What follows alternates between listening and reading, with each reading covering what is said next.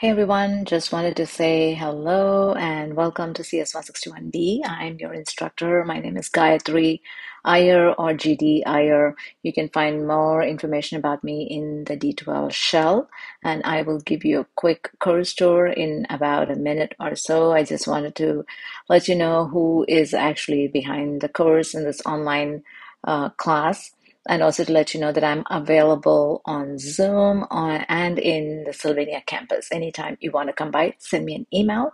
If you have uh, courses that you're taking there, let me know what days you're available, and we can meet either in the CC building, in the cafeteria, or in TCB in the tutoring center, or we'll find a classroom, wherever. But I'm available in Sylvania most days during the term. So just shoot me an email. And here is the course tour. Okay, a quick course tour. Um, so this is your content page under course information. We are going to take, you won't see any of these, by the way, until you do the course information quiz. Okay, the course information quiz is all about the syllabus and the schedule and what's happening in this course. So let's take a look at the syllabus and uh, gives you some information about the course. Um, I'm going to highlight a couple of things. I'll let you read the rest of it on your own time. Office hours uh, I have a Google Sheet that you can use to schedule time with me. Okay, now here, let me go and open that in a different window so we're not looking at it in the same window. Okay, so here's how you schedule time to meet with me. Now, you can meet with me for several reasons, but in the first couple of weeks, I would really like to just meet with you and say hello and see who it is that you know who's who's in my class. Um, what are your interests? Just to have a chat with you. Um, in the past many students have you know many students meet with me. There have always been a few who feel like they have to meet with me only if they need help. That's really not it.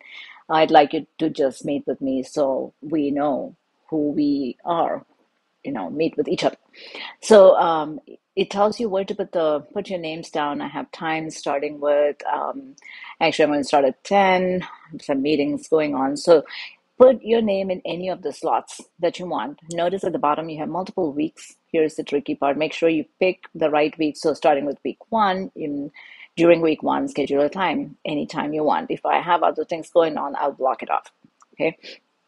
So you can schedule time with me for office hours this way through the rest of the weeks, if you have any questions, it doesn't matter, whatever it is, and it gives you one-on-one, one-on-one time with me to talk about, um, you know, just like I said, an intro meeting, just to know you, and then if you have any questions. So that's really what this spreadsheet is about. Anytime you want to chat with me, and it goes all the way through the end of the term. Okay, all right. So that's one thing that I want to show. Um, and then here's the book information. Please get your book by going to this website and subscribing for the book. Something about uh, for transfer students, if you're going to PSU, you really should read this requirement and try to do things on the server. And we have lots of links that will help you with that, lots of videos through the course. We'll talk more about that. Here is another thing that I want to highlight the workload chart. It's very important you know how many hours really this course takes Okay, so six contact hours are if you have classroom classes. If not, I do some Zoom lectures because this is an online class. We don't have six contact hours. But again, out of the class, you should plan to spend 10 to 12 hours at least programming for per week. So for functions for the first week, you must spend at least this amount of time. Okay, so if you run into any trouble, that's where this comes in. you can schedule time with me and we can talk about things. So please go through this, understand what this really means.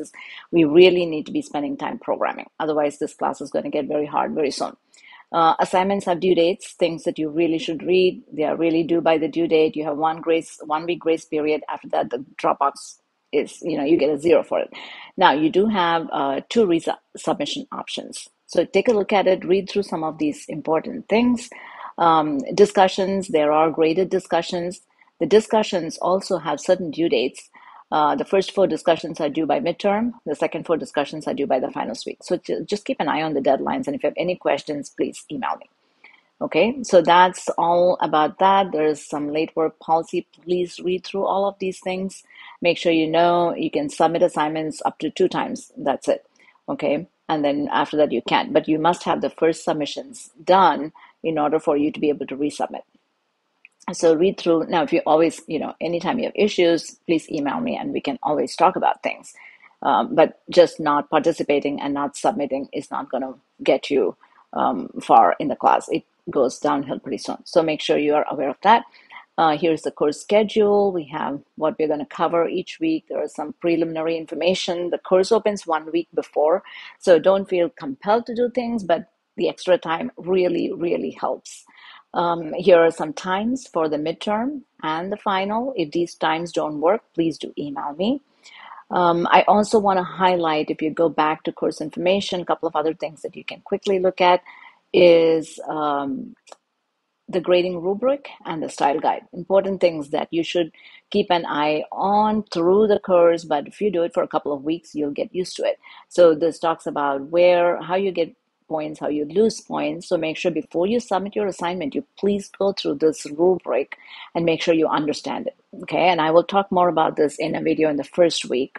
Um, also, the style guide. You should go through this coding guidelines. What can you do? What can you not do? Important things like cannot use while true loops. You may not use any breaks. So we'll talk more about this in the first week, but I strongly encourage you to go through some of these documents and they are all under the first week module again, welcome to the class, and I will see you sometime very soon.